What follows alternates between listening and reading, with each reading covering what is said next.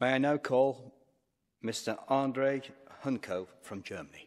Vielen Dank, Herr Präsident, Frau Tichanowskaja.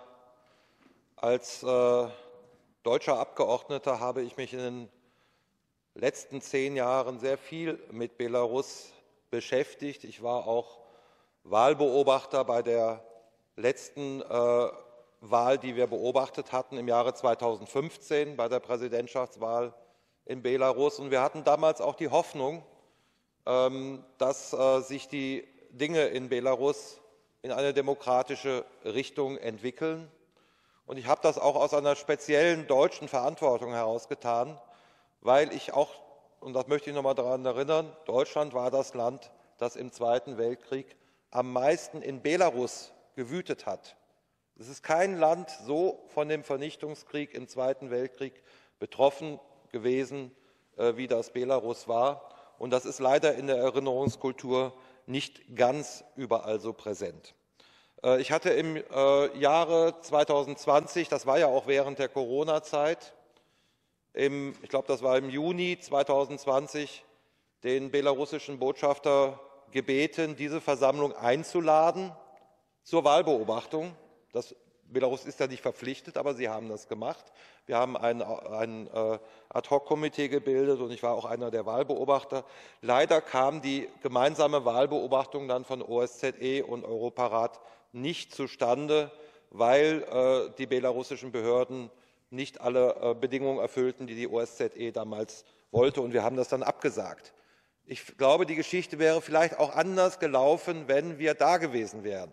Äh, ich glaube, internationale Wahlbeobachter sind in einer solchen Situation sehr wichtig. Nach dieser Wahl 2020, äh, ähm, äh, die offensichtlich gefälscht war, ist Lukaschenko und das Regime äußerst brutal sofort gegen die Opposition vorgegangen.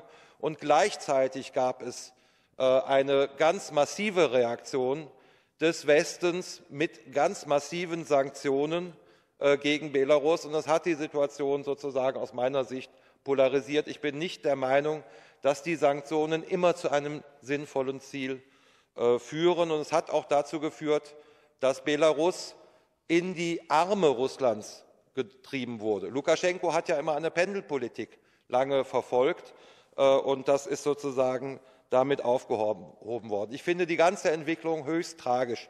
Ich will auch noch mal sagen, dass ich all das verurteile, was an politischer Repression in Belarus stattfindet.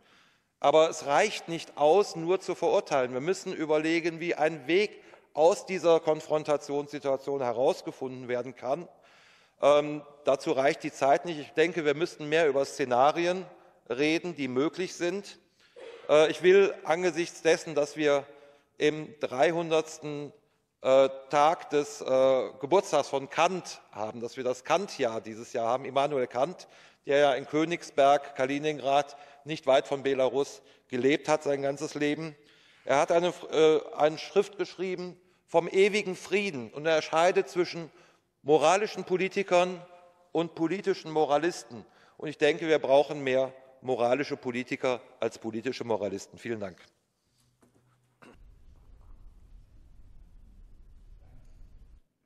Thank you, Mr. Hunker.